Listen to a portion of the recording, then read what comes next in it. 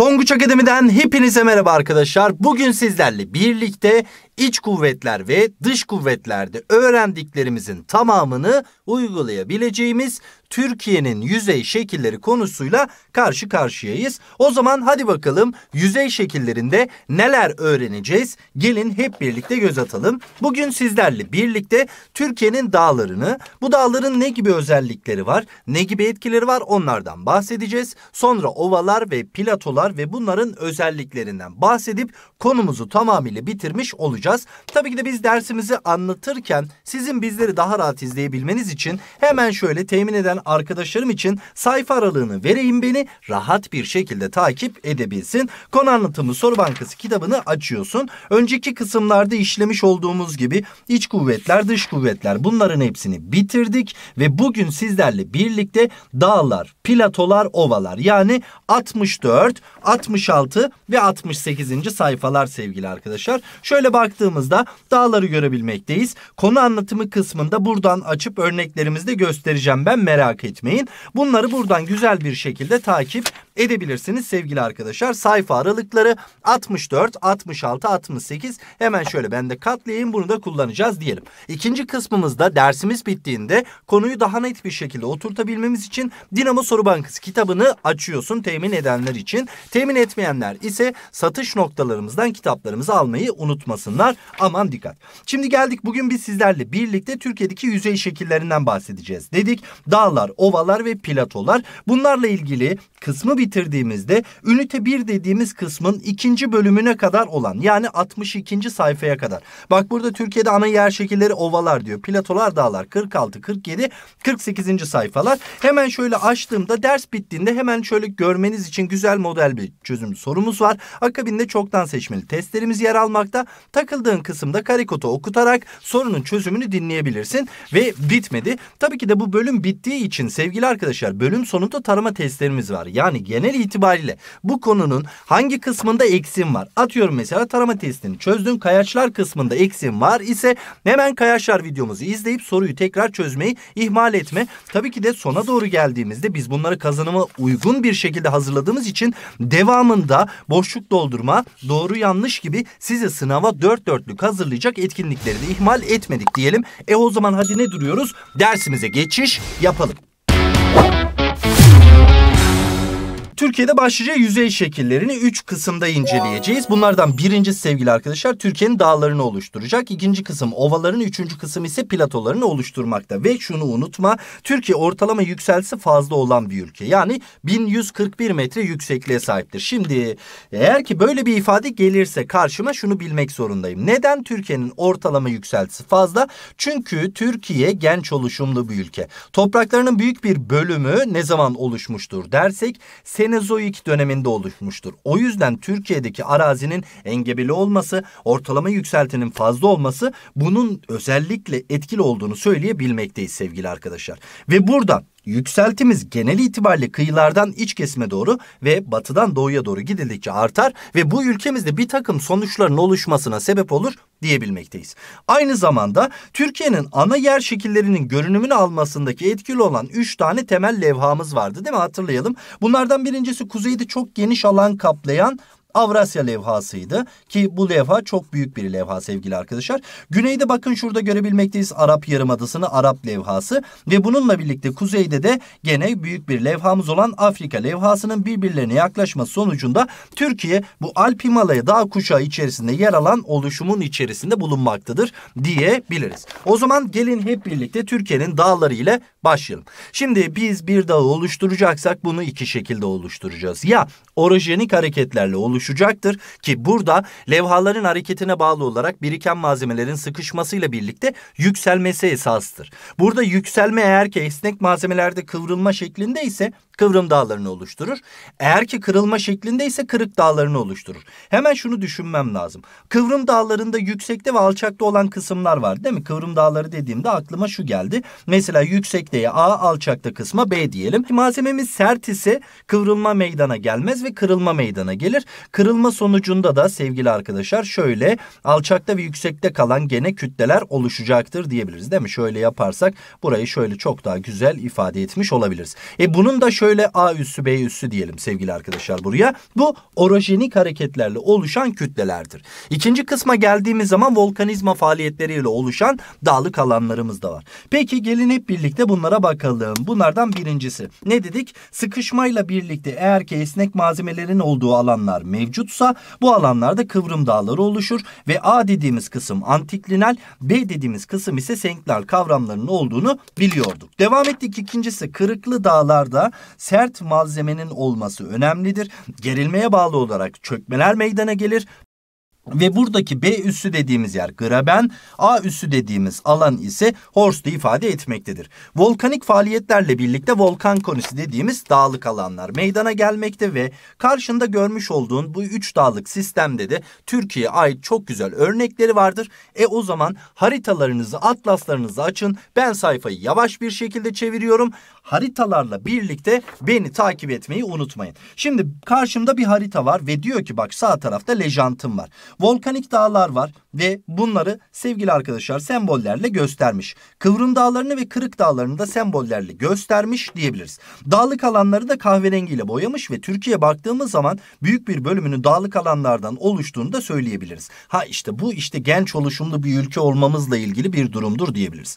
E biraz önce dedik ki kıvrım dağ ve dağlarımızın çok büyük bir bölümü levhaların bak dikkat tortul tabakaları sıkıştırması sonucu ve bunun sonucunda sıkışmayla birlikte esnek malzeme var ya. Bak bunu mesela esnek malzeme olarak düşün. Bu sıkıştığında ne yaptı? Kıvrıldı ve yükseldi değil mi sevgili arkadaşlar? Yükselme ile birlikte oluşan dağlardır ve bunlar kıvrım dağları olarak geçer. Şimdi bunlar yükseldiği için şunu şöyle yükselttiğimiz zaman bak bunun devamı olacaktır. Bunlar sıra dağlardır. O zaman kıvrım orijeniziyle oluşan dağlar sıra dağlar ise bizim ülkemizde bu iki ana kuşağı oluşturur. Bunlardan birincisi kuzeydeki kıvrım dağlarıdır ki biz bunlara Kuzey Anadolu dağları deriz. Birazdan buradaki dağları hep birlikte bulacağız. İkincisi ise güneydeki dağlık sistemimizi oluşturur ki biz bunlara Toros dağları deriz. Bak Kuzey Anadolu dağları bazı ifadelerde kat diye yazacağız. Bunu unutmayalım. Kuzey Anadolu dağları ve Toroslar dediğimiz zaman da güneydeki kısmımızı unutmayalım. Bunlar kıvrım orijini sonucunda oluşmuştur. O zaman kuzeye şöyle kıvrım yazdık mı? Güneye de aynı şekilde kıvrım yazdık mı? Yazdık. Gelin buraya da kıvrım yazalım. Yanlışımız olmasın. Devam ediyorum.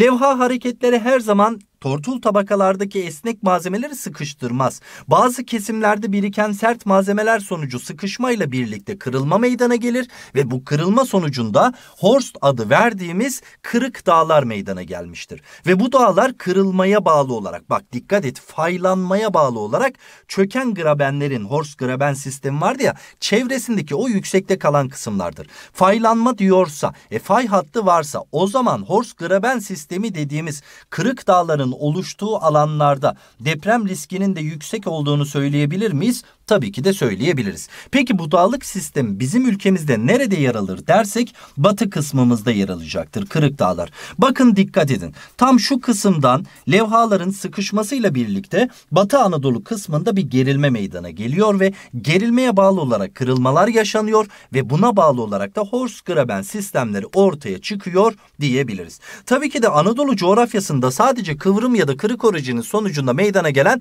dağlık alanlar yok. Bunlar dışında sevgili sevgili arkadaşlar bazı alanlarda özellikle 3. jeolojik zaman dediğimiz Senozoik döneminde volkanizma faaliyetleri sonucunda oluşan volkanik dağlar da vardır. Bakın burada şuna dikkat etmemiz lazım. Şimdi volkanik dağların sembolü buydu ve baktığımız zaman sembole şöyle bir hat şeklinde kırılma var. Yani gene burada bir sıkışma var. Esnek malzeme sıkıştı sıkıştı esnekliğini yitirdiği zaman bir hat boyunca çatladı ve bu alanlarda volkanik faaliyetler aktif hale gelmiştir diyebiliriz. Aynı şekilde de bu alanda da görebilmekteyiz. O zaman gelin hep birlikte bizim ülkemizdeki kıvrım, kırık ve volkanik dağlar nelermiş? Ben kitabımı açıyorum. Sen hem kitabını hem atlasını aç. Oradan hep birlikte bakmaya çalışalım. Şimdi ülkemizdeki kıvrım dağlar demiş. Hemen şöyle bakıyorum. Bak burada bizim bir harita üzerinde yer bilmemiz, konum bilmemiz, dağlık alan bilmemiz çok önemli. İleriki süreçlerde sınava girdiğimiz zaman hem TYT sınavında hem AYT sınavında harita bilgimiz bize birçok soru yapmamızda yardımcı olacaktır. Bunu sadece bu yıl olarak düşünmeyin. İleriki dönemler için de bu olay bizim çok işimize yarayacak. Baktığımız zaman Marmara bölgesinde bir numarayla gösterdiğimiz dağlık sistem var ki bu dağlık sistemimizin ismi Yıldız Dağları. Ben birkaç tanesinden bahsedeceğim. Sonraki kısım kısımları sizden isteyeceğim. Devam ediyorum. Mesela 3 numaralı dağlık sistem çok önemli. Hemen şurada Sinop var. Haritanızı açtıysanız Sinop'un bulunduğu yerde buradaki dağlık sistemimizin ismi Küre Dağları. Bakın böyle gideceğiz tamam mı? Hemen bak Küre Dağları'nın yanında hemen şöyle haritama da baktım. Samsun'un bulunduğu alanda Canik Dağları var ve devam ettim Rize, Kaçkar, Giresun Dağları. Buraya da Doğu Karadeniz Dağları diyebiliriz. Ve sevgili arkadaşlar şunu unutmayalım. Yıldız Dağları'ndan başlayıp Doğu Karadeniz Dağları'na kadar gittiğimiz bu hat Kuzey Anadolu dağları olarak karşımıza çıkmakta. Güneye geldiğimiz zaman ise güneyde Toros dağları yer almaktadır ve Toros dağlarında özellikle Teke platosunun bulunduğu alanda tam şu kısımda şöyle görebilmekteyiz. Bey dağları yer almaktadır. Yanında Aladağlar, Akdağlar da vardır ve 13 numarayla görmüş olduğumuz şu alanda Bolkar ve Aladağlar da gene yer almaktadır diyebiliriz. Ve burada Amanoslar var. 12 numaraya geldiğimiz zaman Amanosları da şöyle eklemeyi unutmayalım. Bakın şurada Güneydoğu Toros Toroslar var. Yani tam şu kısımda kıvrım dağlar var dedik ya. Toroslar bu teke platosunun bulunduğu alandan başlar.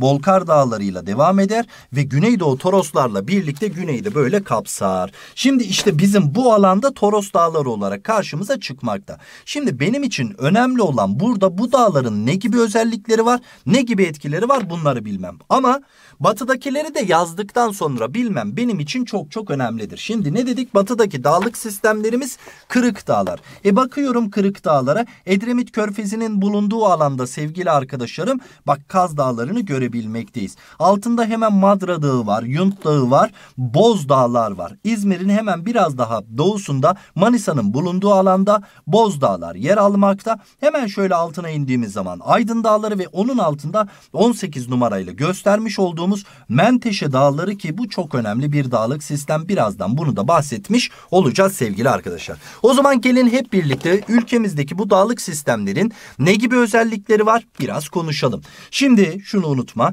Türkiye'deki dağların genel itibariyle uzanış doğrultusuna bakıyorum. Bak uzanış doğrultusu dedim.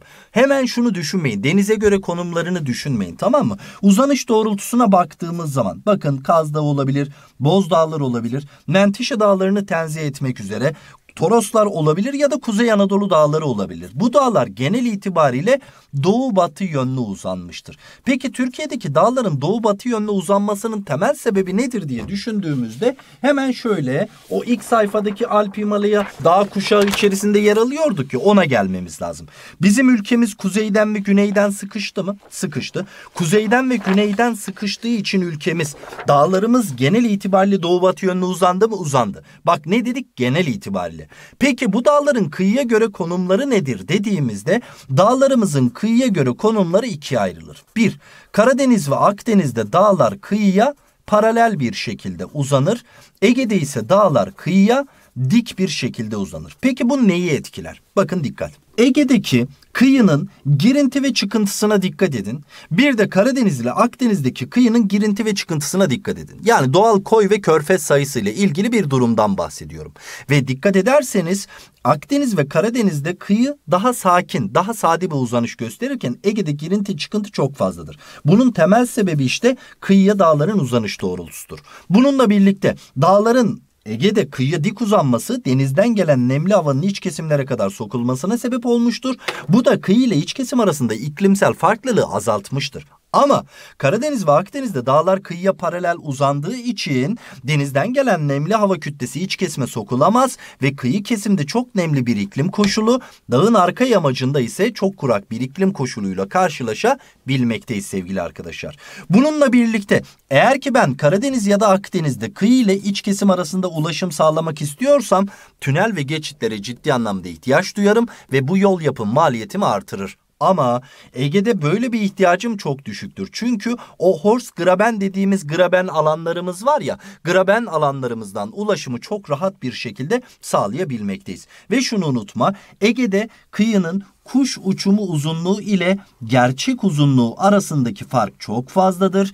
Ege kıyılarında doğal koy ve körfez sayısı da çok çok fazladır. Akdeniz ve Karadeniz kıyılarına göre diyebiliriz. Aynı zamanda kıta sahanlığı diğer ismiyle şelf alanı olarak da karşına çıkmaktadır. Dağların kıyıya dik uzandığı Ege'de kıta sahanlığı daha geniştir ama Karadeniz, Akdeniz'de kıta sahanlığı daha dardır diye bilmekteyiz. Geldik tabii ki de dağlık sistemler içerisinde hemen şöyle volkanik dağlardan da biraz bahsetmeye sayfayı çevirdik ama şöyle baktığımız zaman mesela Ağrı Dağı, Tendürek Dağı, Süphan Dağı, Nemrut Dağı Doğu Anadolu bölgesinde, Karaca Dağı Güneydoğu Anadolu bölgesinde, Erciyes Dağı, Melendiz Dağı, Hasan Dağı, Karaca Dağı, Karadağ İç Anadolu bölgesinde bir de Manisa'da Kula volkanları var. Divlit Tepe volkanları diye geçer ve Türkiye'nin en güzel volkanik arazilerinden bir tanesini oluşturur. Eğer ki yolunuz İzmir'e düşerse Manisa Kula üzerinden kesinlikle geçersiniz ve durup şöyle sağ tarafta Kula'yı geçtiğinizde volkanik dağı görmenizi, fotoğraflamanızı ve fotoğrafladıysanız da bizimle paylaşmanızı istiyorum diyelim sevgili arkadaşlar. Şimdi geldik Türkiye'nin en yüksek dağlarına. Birinci en yüksek dağımız tabii ki bildiğiniz üzere Ağrı Dağı 5137 metre. Devamında Buzul Dağı, Süphan Dağı, Kaçkar Dağı, Erciyes Dağı, Küçük Ağrı Dağı, Aladağlar, Başet Dağı, İhtiyar Şahap Dağı ve Keşiş Dağı olarak karşımıza karşımıza çıkmakta. Sen en yüksek olarak Ağrı Dağı'nı bilsen bizim için yeterlidir.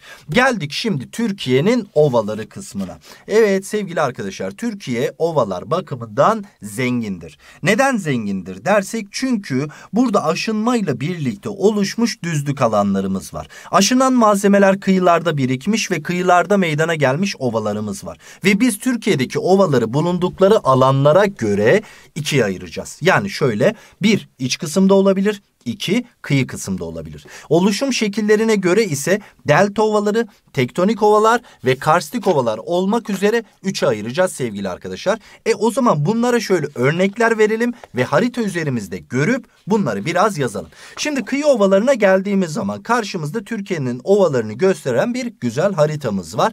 Bu harita içerisinde kıyı ovası diyorsa denizin kıyısında. Mesela Samsun'un bulunduğu yerde iki tane önemli ovamız var. Bunlardan şöyle A diyeyim buna. Diğerine de ise B diyelim. B dediğimiz yer Çarşamba Ovası, A dediğimiz yer Bafra Ovası sevgili arkadaşlar. Çarşamba Ovası Yeşilırmak'ın getirmiş olduğu alüvyon malzemelerin birikmesiyle oluşmuş. Bafra Ovası Kızılırmak Nehri'nin getirdiği malzemelerin birikmesiyle oluşmuş. İki önemli delta ovasıdır. Tarımsal faaliyetlerin çok yoğun ölçekte yürütüldüğü iki önemli alandır diyoruz. O zaman kıyı ovalarda Karadeniz için iki tanesini yazmamız yeterlidir. Bafra ve Çarşamba diyelim şuraya. Devam ediyoruz. Onun dışında mesela Akdeniz bölgesinde kıyı ovamız var mı dersek tabii ki de var. Namı değer neresi var sevgili arkadaşlar? Çukurova var. Çukurova Türkiye'nin en büyük delta ovaları içerisinde yer almaktadır. Seyhan ve Ceyhan nehirlerinin getirmiş olduğu malzemelerin birikmesiyle oluşmuş ve Dana coğrafyası için çok önemli tarımsal faaliyetlerin yürütüldüğü alanlar içerisindedir diyebiliriz.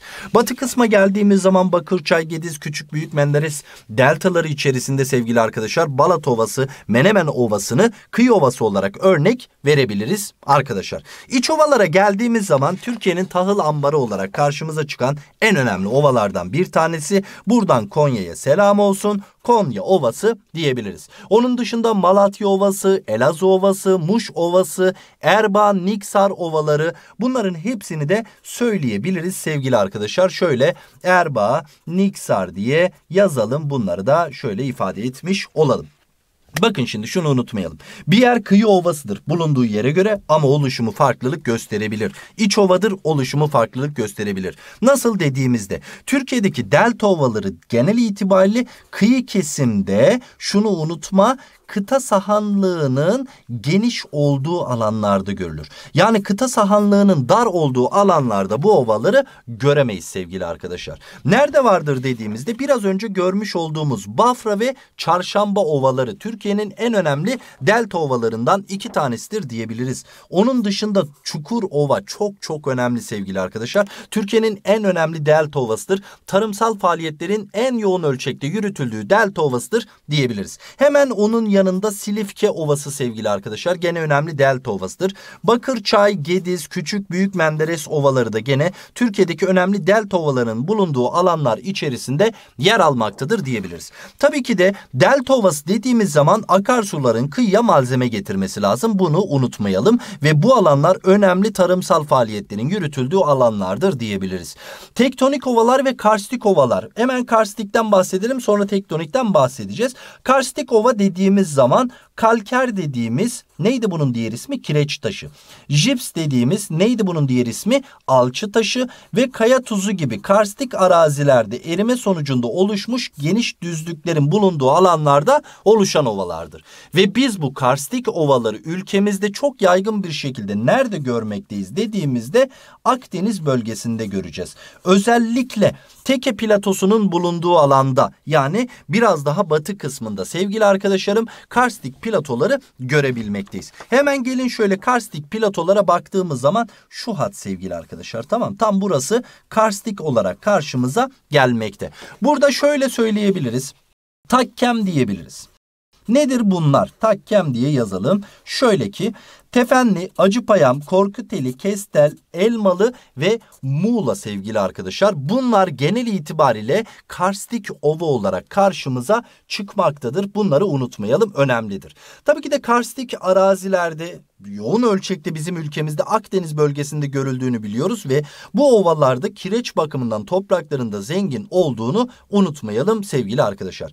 Bir diğer ova kısmına geldiğimiz zaman tektonik ovalardır ve sevgili arkadaşlar Türkiye'de en yaygın görülen ova kısmı tektonik ovadır. Niye? Çünkü Türkiye'de 3 tane ana fay hattı var ve 3 ana fay hattı üzerindeki görülen ova kısımlarımız tektonik ovalardır ki hemen şöyle baktığımız zaman bakın şuradaki hattı görüyor musunuz? Aynı şekilde şuradaki hattı gördünüz mü? Ve bu kısımda devamında buradaki hatları gördünüz mü? Bunlar tektonik ovalar olarak karşımıza çıkmaktadır sevgili arkadaşlar. Yüz ölçümleri küçük ve sayıları ciddi anlamda fazladır. İç kısımdakilerde yoğun ölçekte tarımsal faaliyetler yürütülmektedir. Örnek vermemiz gerekirse Suluova, Taşova, Erbaa, Niksar, Erzincan ovaları, Muş Ovası, Elazığ Ovası, Malatya Ovası, Elbistan Ovası tektonik ovalar olarak karşımıza çıkmaktadır diyebiliriz. Geldik platolar. Türkiye tabii ki de sevgili arkadaşlar platolar varlığı bakımından da zengin bir ülkedir ve platolar oluşum itibariyle dörde ayrılacaktır. Tabaka düzlüğü platoları, lav platoları, karstik platolar ve aşınım düzlüğü platolarıdır sevgili arkadaşlar. Şimdi buraya baktığımız zaman şöyle diyelim buradaki kısımda lav platoları dediğimizde volkanik faaliyetlerin etkili olduğu, karstik platolar dediğimiz zaman biraz önceki ifadede karstik arazilerin etkili olduğu platolar olarak karşımıza çıkmakta. Neden Türkiye platolar varlığı bakımından zengin dersek şundan dolayı. Şimdi sevgili arkadaşlar arkadaşlar Türkiye Senozoik dönemi dediğimiz dönemin ikinci devrinde toptan yükselmiştir. Şimdi toptan yükselme sonucunda arazi gençleşiyor ve akarsular yataklarını ne yapıyor? Derine kazıyor. Toptan yükselen Anadolu coğrafyasında akarsuların yataklarını derinlere kazması sonucunda düzleşen coğrafyada yüksekte yer alan düzlükler oluşuyor. Platon'un tanımı zaten akarsular tarafından derince yarılmış, çevresine göre yüksekte yer alan düzlüklerdi hatırlayalım ve buna bağlı olarak Anadolu'da platoların zengin olduğunu söyleyebiliriz. Peki bu platolar nelerdir? Bunların özellikleri nelerdir dediğimizde mesela Türkiye'nin en alçakta yer alan platolarından bir tanesi Çatalca Kocaeli platosu sevgili arkadaşlar. Ve bu plato peneplenleşmiş bir platodur ve bu platoda yoğun ölçekte sanayi faaliyetleri yürütülmektedir. Yani biz ova ve plato alanlarında genel itibariyle tarım hayvancılık faaliyetlerinin yapıldığını söyleyebiliriz. Ama Çatalca Kocaeli platosu bunlardan farklıdır diyebiliriz. Onun dışında karstik platolara geldiğimiz zaman Akdeniz bölgesinde görmekteyiz ve iki tane önemli platomuz var. Tek taştan gelsin aklına bak karstik kayaç taştan gelsin. Tek taş diyoruz tamam mı? Nedir bunlar? Teke platosu taş eli platosu tamam mı? Bunlar karstik platolardır ve burada kıl keçisi yetiştiriciliği yoğun ölçekte yürütülmektedir diyebiliriz. Geldik bu karstik platolardan sonra lav platonu yani volkanik platolara doğu kısma gelmemiz lazım. Kuzeydoğu Anadolu'ya da doğru çıkmamız lazım. Erzurum, Kars, Ardahan platosu. Tekrar söylüyorum Erzurum, Kars, Ardahan platosu sevgili arkadaşlar. Bu platolar yüksekte yer alan Türkiye'nin en yüksek platolarıdır ve bu platolarda yaz yağışlarıyla yeşil kalan ot toplulukları vardır. Ve buna bağlı olarak burada büyükbaş hayvancılık faaliyetleri yoğun ölçekte yürütülmektedir diyebiliriz. Bunlar da lav volkanik platolardı. Şimdi geldik aşının düzlüğü platolarına. Bu platolar genel itibariyle iç kesimlerde ve Güneydoğu Anadolu bölgesinde görmüş olduğumuz platolardır. Gaziantep platosu, Şanlıurfa platosu, hemen geldik şöyle Yazılıkaya platosu Eskişehir'in bulunduğu alanda. İç kesme geldiğimiz zaman Bozok platosu, Haymana platosu, platosu, Cihanbeyli platosu, Obruk platosu ve Uzun Yayla platosu. Bu platolar da aşınım düzlüğü platosudur. Ve bu alanlarda yoğun ölçekte hem tahıl tarımı yürütülmektedir. Aynı zamanda ne yapılıyor? Küçükbaş hayvancılık faaliyetleri yapılıyor diyebiliriz. Çünkü buradaki ot örtüsü Erzurum, Kars, Ardahan platosundaki kadar verimli ve yeterli değil ve buna bağlı olarak da bu alanlarda da hayvancılık faaliyetleri olarak küçükbaş hayvancılık faaliyetleri tahıl tarımında iklime bağlı olarak yapıldığında söylemiş olalım sevgili arkadaşlar. Ve geldik sizinle bugünkü dersimizin sonuna. Bugün sizlerle birlikte ne öğrendik? Türkiye'nin dağlarını kaç ayır ayırdık. Bir, Kıvrım Dağlar dedik. Yani bunlar sıra dağlardı. Toroslar ve Kuzey Anadolu Dağları. Kırık Dağlar dedik. Kazma yutmuş bozayım. Kaz, Madra, Yunt, Boz, Aydın, Menteşe Dağları. Batıdaki dağlar. Bunlar da Kırık Dağlar'da bunu unutmayalım. Bir de volkanik dağlar dedik. Doğu Anadolu bölgesindeki, Güneydoğu Anadolu bölgesindeki ve İç Anadolu bölgesindeki dağlardan bahsettik. Türkiye'nin ovalarından bulundukları yere göre oluşum türlerine göre ovalardan bahsettik. Platoları oluşum özelliklerine göre platoların özellikleri ve hangi ekonomik faaliyetler yürütülüyor bunlardan bahsedip öğrenmiş olduk. Aman ödevlerimizi ihmal etmeyelim. O zaman gelin hep birlikte tekrar ödevlendirmemizi yapıp ödüllü sorumuzla kapanışı verelim. Bugün sizlerle birlikte sevgili arkadaşlar su kaynaklarına kadar olan ikinci bölüm yani 70. sayfaya kadar bitirmiş olduk sevgili arkadaşlar. Siz bu video bittikten sonra güzel güzel bu kitaptan şöyle bir ince tekrar yapıp ondan sonra soruları çözmenizi istiyorum ki bir sonraki derse bomba bir şekilde eksiksiz bir şekilde gitmiş olalım. Birinci kitabımız budur sevgili arkadaşlar. İkinci kitabımız Dinamo Soru Bankası kitabı. Bugün sizlerle birlikte Türkiye'nin ana yer şekillerini işledik ve Türkiye'de iç kuvvetler kısmı dahil yani 64. sayfaya kadar çözüyorsun ve 64. sayfada su kaynakları var. Orada beni bekle. Bir sonraki dersimizde orayı işleyeceğiz sevgili arkadaşlar. O zaman ödevlendirmemizi verdiysek hadi bakalım karşında günün güzel ödüllü sorusu var. Cevapları yorumlar kısmına bekliyorum. Bir sonraki dersimde görüşmek üzere. Kendinize çok iyi bakın. Kolay gelsin. İyi çalışmalar.